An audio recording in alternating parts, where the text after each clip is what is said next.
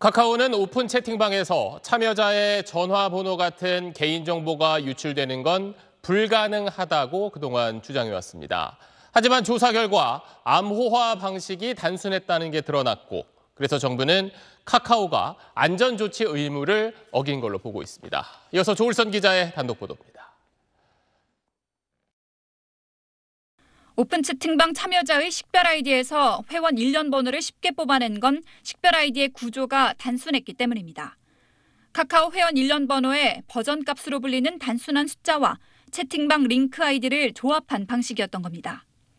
암호화가 너무 단순해 식별 아이디에서 회원 일련번호를 비교적 쉽게 역산할 수 있었다는 게 전문가들의 설명입니다. 문제가 불거진 후 카카오 측은 채팅방 참여자 식별 아이디 암호화 방식을 바꿨습니다. 해당 불법 행위에 대한 기술적 조치는 지난해 만료돼 더 이상 불가능한 상황입니다.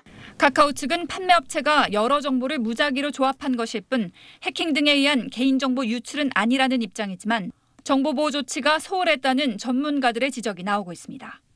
아이디나 회원 번호를 알 수 있도록 그러니까 조치했다는 것은 어쨌든 개인정보에 대한 그 기술적 관리적 조치가 미비했다고 봐야 되겠죠. 개보인은 무작위 전화번호 대입을 통한 친구 추가 기능과 회원 1년 번호를 쉽게 추출할 수 있게 식별 아이디를 구성한 점, 오픈 채팅방 게시판 내 작성자 검증 절차가 없었던 점 등을 안전조치 의무 위반 사항으로 카카오에 통보했습니다.